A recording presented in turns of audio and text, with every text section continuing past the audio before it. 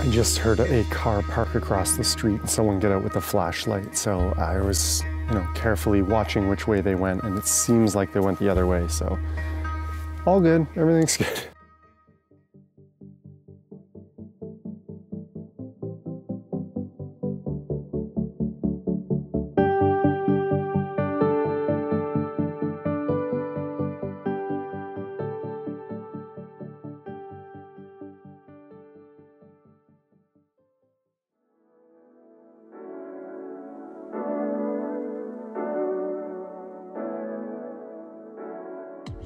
This video is all about nightscape photography. So usually when astrophotographers talk about nightscapes, they're talking more wide angle camera lens work as opposed to deep sky astrophotography through a telescope, high magnification of deep sky objects like nebulae and galaxies. Nightscapes are more of a night scene, a more wide angle night scene, and usually with some foreground interest too, some landscape below it and you can see the night sky above. So it's not something I've done a whole lot of, but I really want to get into it more. And uh, I'm just going stir crazy in the house here. I haven't been out of the house in a long time. It's been so cloudy here in the backyard. I need to get out. So I'm gonna head out to one of my favorite dark sky spots. It takes about an hour to get there and I still don't know if it's gonna be clear tonight, but uh, it's worth a chance being new moon now. So I'm gonna give it a shot.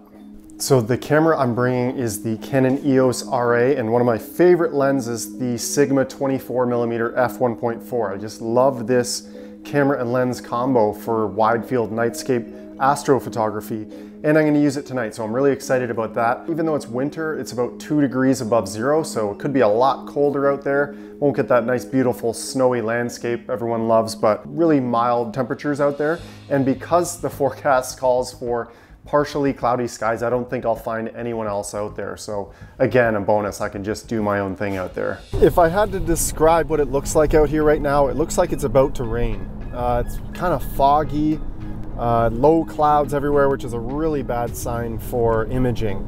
Uh, but I'm hoping the latest forecast I saw was right and I should be driving through this and out of it. That's the hope anyway. Otherwise, I'm just turning right around definitely the poorest conditions I've ever made a road trip for astrophotography in, ever.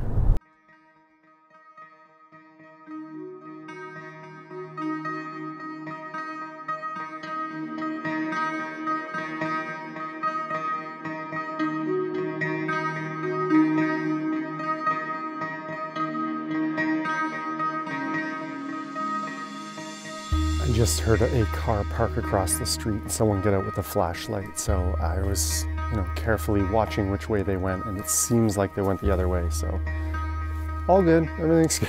Here is my star tracker here, the Skywatcher Star Adventurer 2i. So I will set this to just regular star tracking mode, sidereal rate, and uh, I'll mount my camera and lens at the top here.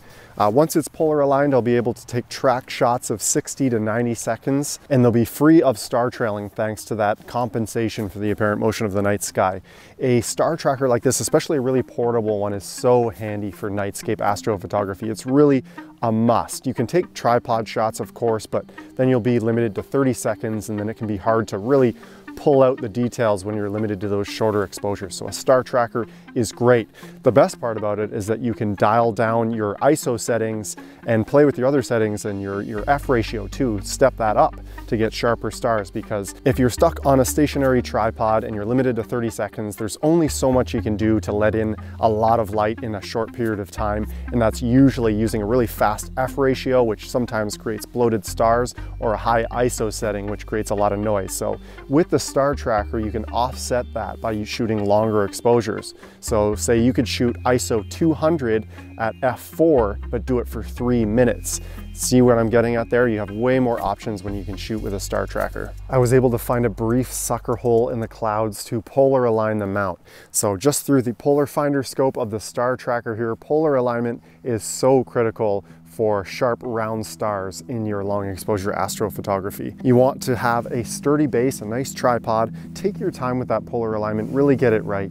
I have an app on my smartphone called Polar Finder on my Android phone that I use just to tell me the position that Polaris needs to be in on that reticle. And I just match it up on the mount here using the Altaz bolts and get that aligned. So now I am aligned with the rotational axis of the earth and I can take long exposure images. So don't rush that part, it's very important. The other thing is you don't want to nudge or bump your tripod. If you kick one of those tripod legs, you're gonna have to polar align again. So once you get it done, get it out of the way, just leave it be and try not to touch anything. You can, of course, attach your camera, do things like that, but just be careful not to move the mount.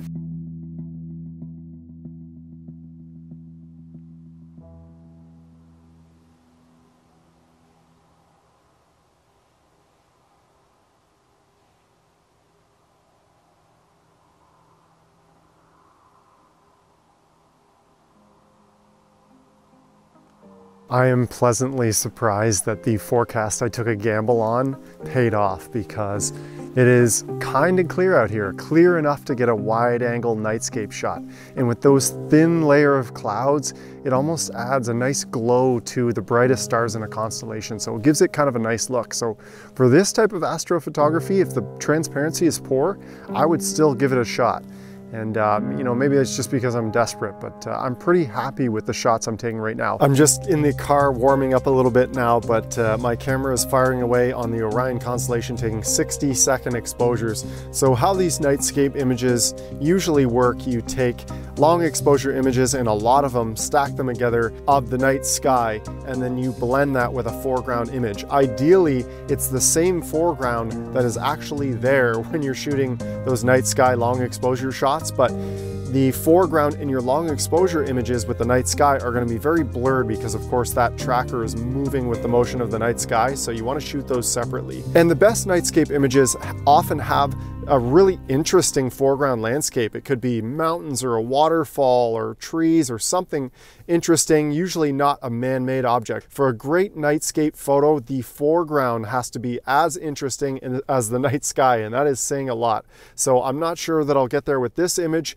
but it should be a nice dark foresty look to it at least, where it's not just an afterthought shooting the foreground, where it's something I actually intentionally capture a really pretty foreground and blend the images together. This is where travel really comes into play for nightscape astrophotography, where it is the opposite of backyard astrophotography, shooting over a house and a fence. This is where you want to capture beautiful landscapes. You get way off the beaten path and just capture a beautiful night sky and try to capture the feeling of that isolation of being at a dark sky site. So I'm really craving doing this type of astrophotography more in the future. So uh, just getting my feet wet on a not so clear night tonight, but I hope you enjoy the image at the end of the video and I hope you get nuts about nightscape astrophotography this year because I know I will. Until next time, clear skies.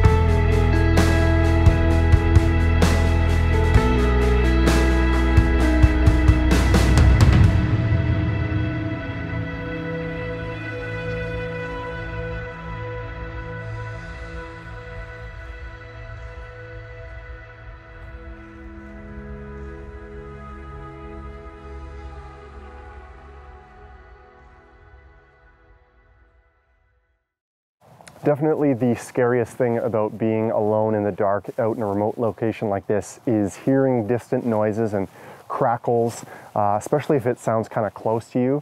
That's when it's really nice to have the headlamp and just a, you know, laser beam them, whatever it is. For animals, you see their eyes right away, usually freaks them out. So uh, I'd rather see an animal than uh, a person out here, that's for sure.